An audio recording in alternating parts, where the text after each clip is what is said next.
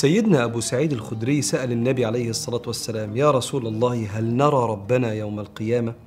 فقال هل تضارون في الشمس ليس دونها سحاب؟ قلنا لا قال فهل تضارون في القمر ليلة البدر ليس دونه سحاب تعرفوا تبصوا للقمر كده؟ قلنا لا نعرف نبص من غير ما نتضر قال فإنكم ترون ربكم كذلك يوم القيامة يعني بوضوح السؤال ده هل نرى ربنا ده سؤال المشتاق؟ لأن منتهى أمل المشتاقين هو النظر للمحبوب. الشوق هو عبارة عن احتياج يتملك القلوب لرؤية المحبوب. وده اللي حصل مع سيدنا موسى عليه الصلاة والسلام. يوم ربنا كلمه وأنزل عليه التوراة ولما جاء موسى لميقاتنا وكلمه ربه قال رب أرني أنظر إليك. قال لن تراني. ولكن انظر إلى الجبل فإن استقر مكانه فسوف تراني. فلما تجلى ربه للجبل جعله دكا وخر موسى صعقا فلما أفاق قال سبحانك تبت إليك وأنا أول المؤمنين. سيدنا قتادة المفسر بيقول لما سمع موسى الكلام طمع في الرؤيه اشتياق سمع كلام ربنا طمع إنه يشوف ربنا. فقال له رب العالمين يا موسى إنك لن تراني ولا يكون ذلك أبدا إنه لا يراني أحد فيحيا. لو شفتني لازم تموت. قال ربي لأن أراك ثم أموت أحب إلي من ألا أراك ثم أحيا. ده حال المشتاق إلى الله. أصل القرب بيزيد الشوق. الشوق اللي متملك قلوب المحبين لربنا دلوقتي لا يسكنه إلا رسائل ربنا. يبعت لك رسالة إنه راضي عنك يأذن ليك في طاعة فتشعر إن حبيبك بينادي عليك يسكن الشوق شوية. يأذن لعينك إن هي تبكي لما تسمع كلام ربنا فتحس إنه بيرقيك ويقربك. يبعت لك محتاج ويعينك على قضاء حاجته ويوريك الفرحة في عينيه فتطمن كده إن خير ربنا سبحانه وتعالى واصل للعبادة عن طريق إيديك.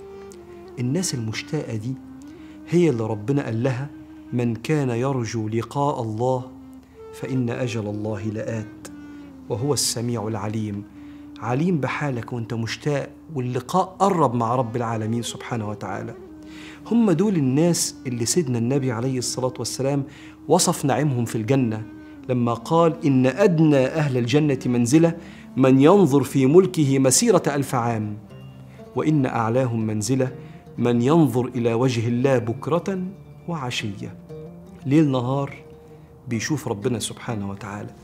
هم دول الناس اللي بيخافوا من الآية دي زي خوفهم من النار. كلا إنهم عن ربهم يومئذ لمحجوبون محرومون من رؤية ربنا. لأن المشتاق يرى أن أشد العذاب عذاب الحجاب أن يحجب عن الله. لا يسمح له بالنظر لوجه الله ويروا أن أعلى النعيم النظر إلى وجهه الكريم. انت عارف إيه اللي بيحجبنا في الحياة عن الشوق إلى الله والإحساس بالمعاني والإحساس بوجود ربنا معانا؟ حكمة. قالها ابن عطاء الله قال ما حجب الحق عنك إلا لشدة قربه منك. هضرب لك مثل ولله المثل الأعلى. عمرك حسيت أو اشتقت لروحك؟ روحك قريبة جدا منك. وبسبب شدة القرب عمرك ما حسيت بيها مع إن روحك دي لو فرقت جسدك أنت ما تسواش حاجة. عشان كده ربنا قريب قوي وهو اللي بيعمل لك كل حاجة وهو اللي بيرشدك لكل حاجة بلطف وقرب فساعات ما بنحسش بيه. لكن مثلا ولله المثل الأعلى زي الهوى أنت ممكن ما تحسش بيه بس لو بعد عنك ممكن تدفع أغلى ما تملك عشان تستعيد شوية هوى. فربك لا يغيب لأنه قريب سبحانه وتعالى وساعات القرب بيخلي الواحد ما يحسش. عشان كده اذكر ربنا بلا إله إلا الله كتير هتحس بقربه. أذكر ربنا بلا حول ولا قوة إلا بالله. على الأقل ولو مئة مرة في اليوم هتحس بتدبيره ليك في كل لحظة في حياتك. ولو تقدر تزور الأراضي المقدسة اللي فيها بتسكب عبرات المشتاقين. أنت عارف مكة اسمها في القرآن بكة لكثرة بكاء المحبين والمشتاقين. روح زور المدينة المنورة وزور سيدنا رسول الله عشان قلبك يتملي بأنوار الشوق ببركة جوار سيدنا محمد عليه الصلاة والسلام. أعلى النعيم هو النظر لوجه الله الكريم. هذا الشوق هو زاد المحبين لغاية ما يقابلوا ربنا.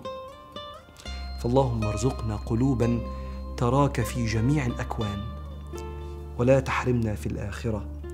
من النظر إليك بكرة وعشية. يا رحيم يا رحمن.